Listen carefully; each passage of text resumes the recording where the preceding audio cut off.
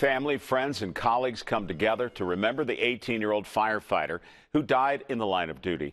A memorial service at the Clearfield Area High School this afternoon honoring Jeffrey Buck Jr., who died from injuries after a porch roof fell on top of him while battling a fire in Lawrence Township. Today, he was remembered as a selfless public servant who was always laughing. And after the memorial service, a procession of fire trucks and other emergency vehicles went through Hyde into the cemetery. And we continue with that part of our team coverage tonight with Erin Calandra. Marty, it would be pretty amazing to see an aerial view of this procession. Red, white, and blue lights just filled up this tiny community. A ladder truck from St. Marys Elk County and one from Brookville, Jefferson County created a cross dangling our American flag.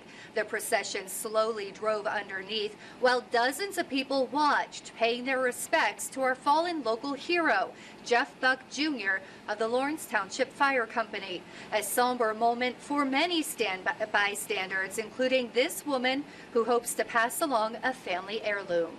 And I just thought it would be appropriate to give it to his fiance, some uh, keepsake for, for the little unborn child, or to, for the family to remember, you know, that he did die for a good cause.